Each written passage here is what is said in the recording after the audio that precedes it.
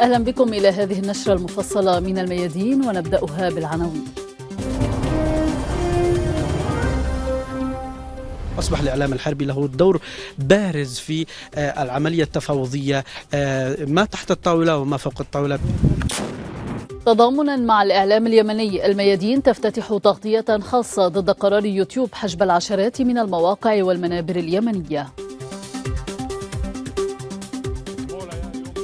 رئيس أركان الجيش الإسرائيلي يوجه رسالة استثنائية لرافضي الخدمة مع اتساع دائرة الاحتجاجات داخل المؤسسة العسكرية. كان واضح الحركة لا تذهب إذا لم يتم الإفراج عن معتقلين. الهندي يؤكد للميادين عدم مشاركة حركة الجهاد الإسلامي في اجتماع الفصائل الفلسطينية بالقاهرة وهنية يلتقي عباس في أنقرة. الأسد يبحث مع موفد بوتين ملفي عودة اللاجئين والانسحاب التركي من سوريا ويتهم الغرب بافتعال الأزمات لتقويض مكانة روسيا.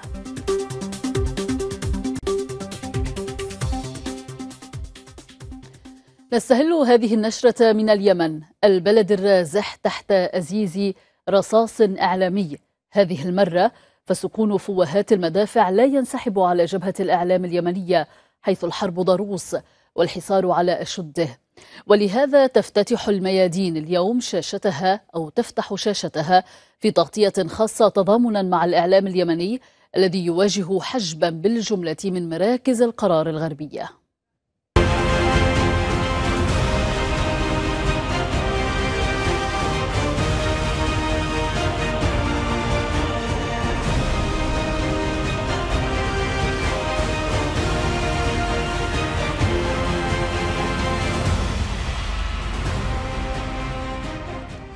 إذا أقدمت إدارة شركة يوتيوب الأمريكية على إغلاق 18 قناة من قنوات الإعلام الحربي اليمني إلى جانب فرقة أنصار الله ووحدة الإنتاج الفني وقنوات أخرى. هي خطوة تأتي في الوقت الذي يغرق فيه اليمن منذ أشهر في دوامة حالة لا حرب ولا سلم فلماذا هذا القرار اليوم؟ وفي أي سياق يأتي؟ هذا تقرير لأحمد عبد الرحمن. حرية الإعلام في خطر. هذا ما تكشفه عودة يوتيوب إلى استهداف قنوات الإعلام اليمني مجددا وحجب 18 قناة إعلامية. بينها قنوات إنشادية وفنية لفرقة أنصار الله من دون أن تتفاعل مع الطعون المقدمة يمنيا. الشركة الأمريكية سبق أن أغلقت عشرات المنصات الإعلامية لأنصار الله خلال سنوات الحرب. هذه ليست المرة الأولى التي تتعمد شركة يوتيوب إغلاق قنواتنا وهناك العديد من المرات أكثر أو تقريبا 60 مرة أو 60 منصة من قنوات الإعلام الحربي تم إغلاقها في فترات الحرب والآن في فترة اللا حرب ولا سلم تعاود الكرة. حرب أخرى هدفها رأس الحربة الإعلامية اليمنية في مواجهة آلة الحرب الإعلامية للتحالف وتكشف النيات العدوانية تجاه اليمن ولا سيما أنها جاءت في هذا التوقيت من اللا سلم ولا حرب كما يقول إعلاميون. إغلاق قنوات الإعلام الحربي في هذا التوقيت له دلالات من الناحية الإعلامية بأن المعركة الآن في هذا التوقيت هي معركة إعلامية بشكل أساسي وأيضا لأن الإعلام الحربي يمثل الحربة الأساسية في هذه المعركة. إدانات محلية وخارجية واسعة لما وصفه الإعلام الحربي اليمني بالخطوة التعسفية التي تؤكد ازدواجية المعايير وسياسة الكيل بمكيالين للشركات العالمية الغربية. واعتبرتها وزارة الثقافة في صنعاء سابقة جنائية خطيرة وعدها سياسيون وإعلاميون جريمة ضد حرية الرأي والتعبير في العالم. من القتل والقصف والاستهداف المباشر وغير المباشر للإعلاميين ووسائل الإعلام اليمنية خلال أعوام الحرب إلى إغلاق قنوات ومنصات الإعلام الحربي اليمني في زمن الهدنة واللا هدنة فماذا بعد هذا الاستهداف؟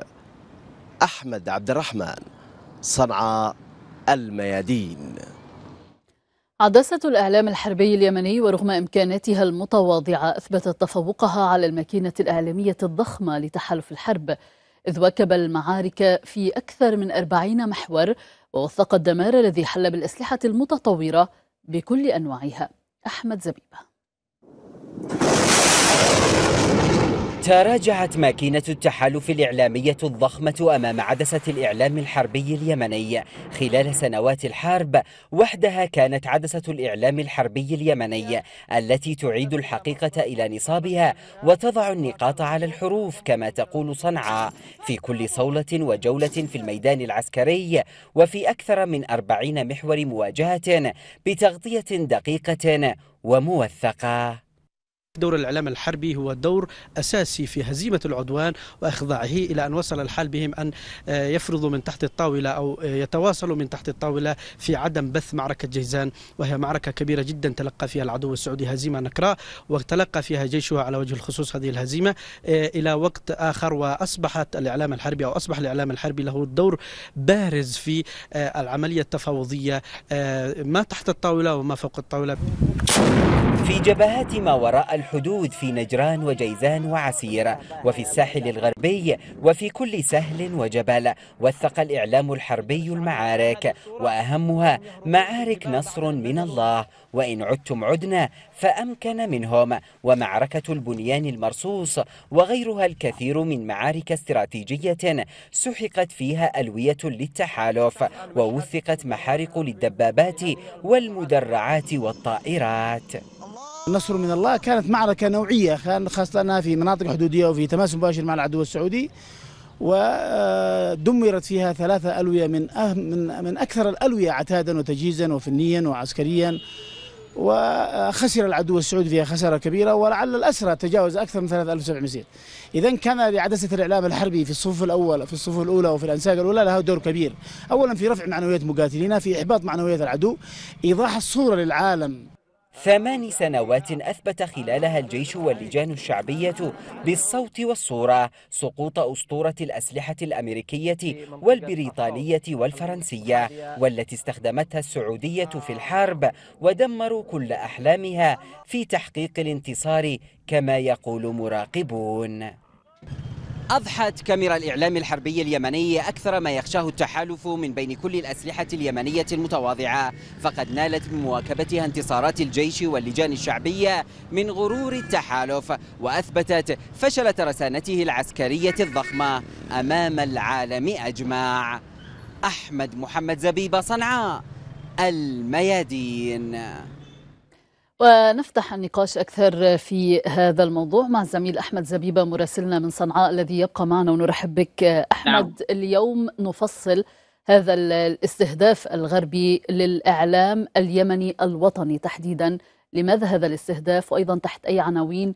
وبالضبط من هي القنوات والمواقع التي أو ما هي القنوات والمواقع التي تم استهدافها؟ آه، نعم هي عملية الاستهداف هي ليست وليدة اليوم هي سنوات من الاستهداف سواء الغربي أو السعودي آه، بشكل مباشر للقنوات الوطنية آه، في اليمن عن طريق استهداف هذه القنوات. وكانت الحرب منذ يومها الأول كان هناك استهداف ممنهج باستخدام العمليات العسكرية لاستهداف مواقع آه، آه، لهذه المؤسسات الإعلامية الوطنية آه، في صنعاء وفي المحافظات بداية باستهداف البنية التحتية وامتدادا إلى استهداف حرية الكلمة.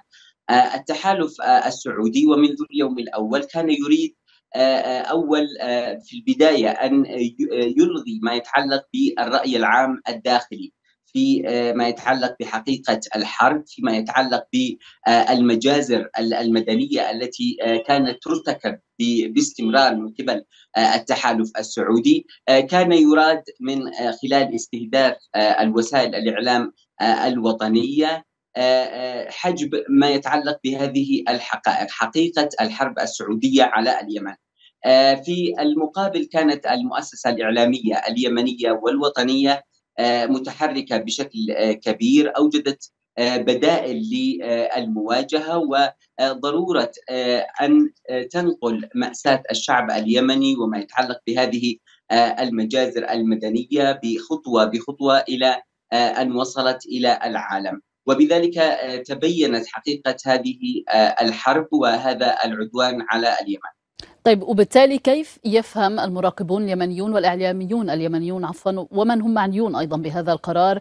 آه هذه الخطوة من قبل آه إدارة يوتيوب. من هي الأطراف التي تقف وراءه؟ أي ضرر أيضا حققت هذه القنوات ليتم استهدافها بهذا الشكل؟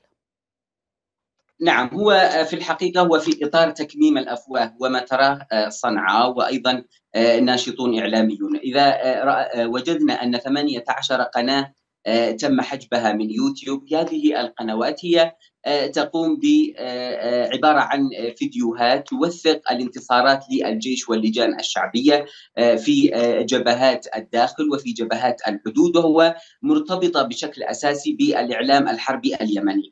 هذه النقطة هي ما جعلت منصة يوتيوب بضغط من قرار غربي بالإضافة إلى بالتأكيد أن هناك أيضا تدخل سعودي إماراتي لحجم مثل هذه القنوات.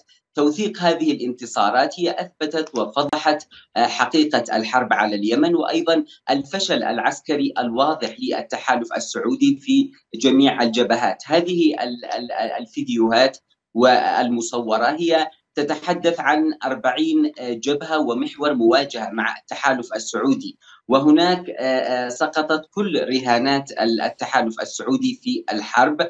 مشاهد شكلت صدمة للتحالف السعودي فيما يتعلق بإحراق آلياتها العسكرية بإسقاط طائراتها بتقدم الجيش واللجان الشعبية في أكثر من محور بالإضافة إلى أن هذه المشاهد هي أيضا خلقت تأثير كبير في ما يتعلق بالداخل اليمني وأيضا في الخارج، هناك تغيرت الكثير من القرارات والقناعات فيما يتعلق بالحرب على اليمن وأصبحت السعودية والدول المشاركة معها في الحرب على اليمن محصورة في نطاق ضيق وأثبتت أن حربها فاشلة وأن لا يوجد هناك أي انتصارات حقيقية على الأرض وإنما كان هناك فشل عسكري واضح وأيضا تأثيرات في الجانب الإنساني. شكرا جزيلا لك الزميل أحمد زبيبة مراسلنا من صنعاء.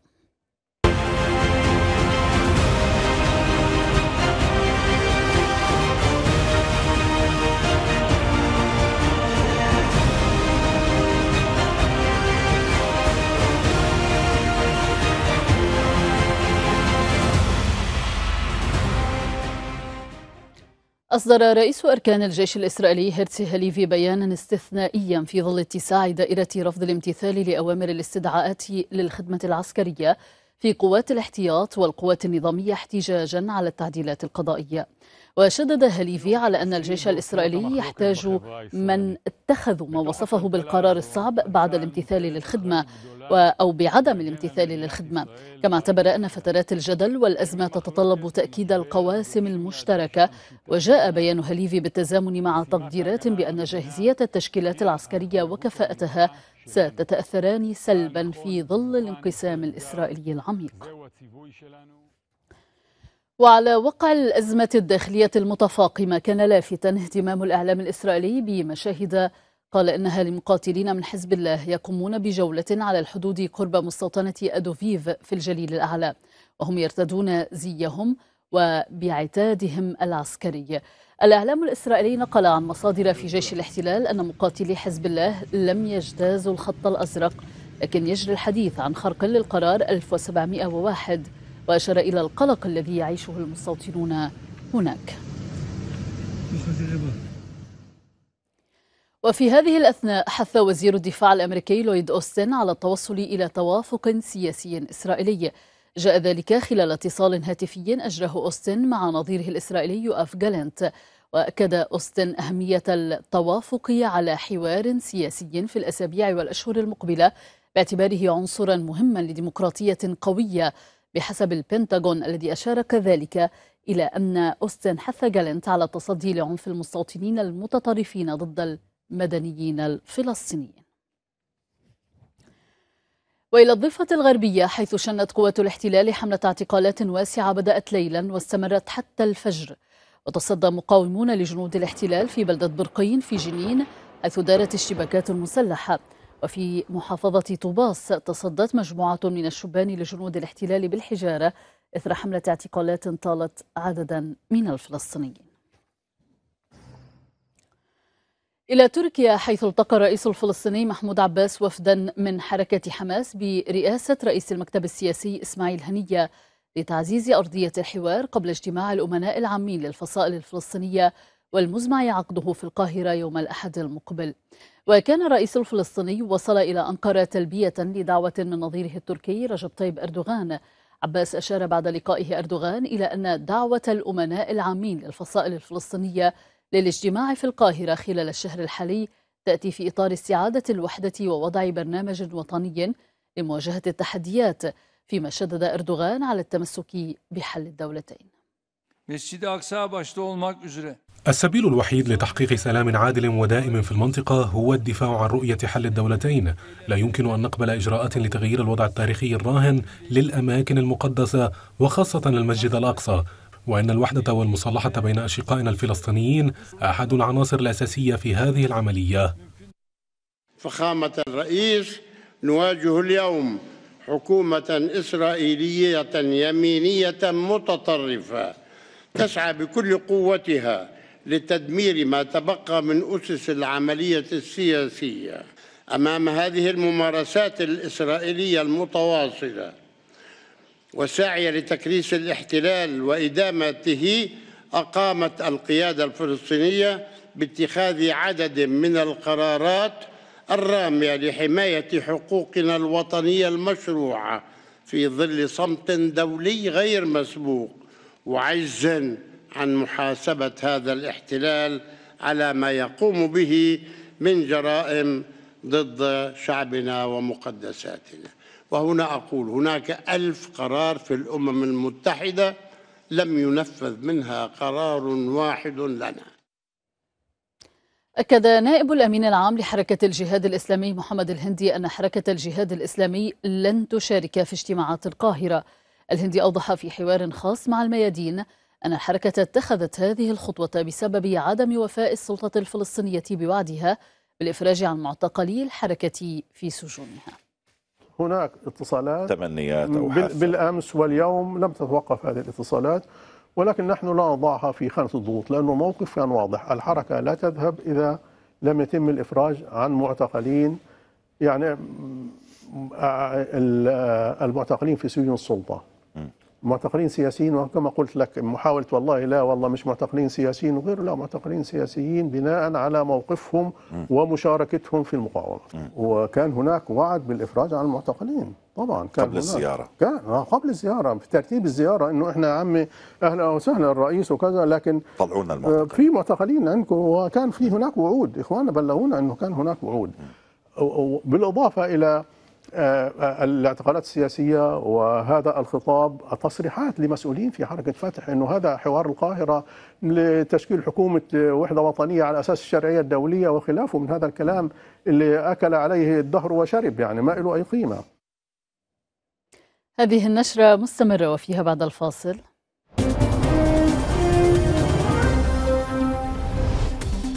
الجزائر تسابق الزمن لإهماد ما تبقى من حرائق الغابات بعد أن أخمدت العشرات في الشمال والشرق.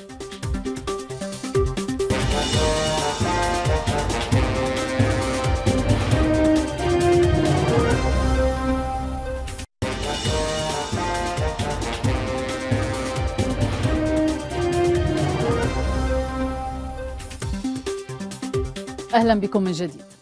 أكد الرئيس السوري بشار الأسد أن الغرب افتعل أزمة سياسية واقتصادية عالمية متسببا في عدم استقرار عالمي لتقويض مكانة روسيا وحضورها الدولي باستخدام أوكرانيا أداة لذلك. كلام الأسد جاء خلال استقباله المبعوث الخاص للرئيس الروسي ألكسندر لافرنتييف والوفد المرافق حيث بحثا ملف عودة اللاجئين السوريين والتعنت التركي بشأن الانسحاب من الأراضي السورية. ونقل لافرتنيف تأكيد الرئيس فلاديمير بوتين استمرار روسيا في دعمها لسوريا. أعلنت الدفاع الأمريكية تزويد أوكرانيا دفعة جديدة من الأسلحة ومختلف أنواع الذخيرة. البنتاغون أشار إلى مجموعة من المساعدات بقيمة تصل إلى 400 مليون دولار تشمل أسلحة وأنظمة دفاع جوي ومدفعية ومدرعات وأسلحة مضادة للدروع إضافة إلى صواريخ ومسيرات وألغام وعدد كبير من التجهيزات الأمنية. وصل وفد عسكري روسي برئاسة وزير الدفاع سيرجي شويغو إلى كوريا الشمالية وفق ما أعلنت وزارة الدفاع الروسية. واستقبل الوفد في مطار سونان الدولي في العاصمة بيونغيانغ وزير الدفاع الكوري الشمالي كانغ سون نام حيث سيشارك في احتفالات الذكرى السبعين لانتصار الشعب الكوري في حرب التحرير الوطنية. وأشارت وزارة الدفاع الروسية إلى أن هذه الزيارة ستساعد في تعزيز العلاقات العسكرية بين الطرفين. إلى السودان حيث يتلقى عشرات الأطفال علاجهم في مستشفى الميداني تديره منظمة أطباء بلا حدود في تشاد. على الحدود مع السودان بعد تشخيص حالتهم بسوء التغذية. نائب منسق المشروع قال أن المستشفى استقبل 200 طفل بينهم 80% يعانون من سوء التغذية. ويأتي ذلك على خلفية نزوح أشخاص عديدين من السودان على خلفية استمرار الاقتتال الداخلي.